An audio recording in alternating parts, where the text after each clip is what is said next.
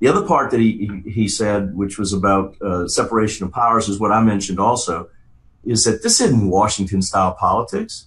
This is the executive branch, the legislative branch, and now, and of course, the judicial branch.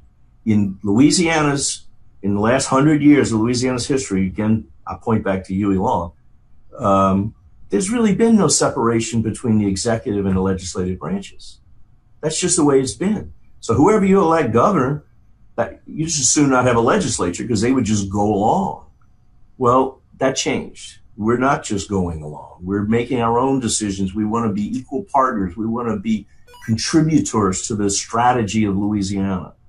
Uh, and I think that's an important important element we all got to understand. And so I, I'll disagree with his uh, Washington style politics stuff. I think that's good talking points. Maybe it works. Maybe it'll play with the folks back home, but I think it's baloney. Okay, because you, you feel like uh, there's legitimate, um, a, a, legitimate reason to have the separation of powers. Now that that can come back and bite you uh, in say two and a half years.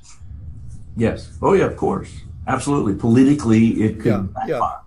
Yeah. yeah. Uh, there's no doubt about it. But you know, I wasn't elected, and the, and the, other 143 folks, we weren't elected just to be lapdogs to a governor. Mm-hmm. We were elected to come up here and use our best judgment to serve four and a half million people in Louisiana, and specifically, in my case, about 125 million uh, thousand in my district.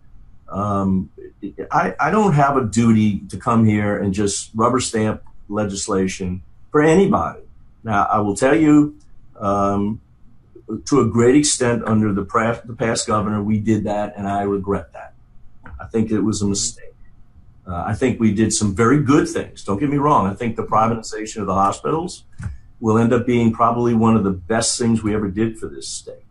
I think the school reforms, if we can keep this uh, governor from reform, from rescinding them, will be one of the best things we ever did for this state.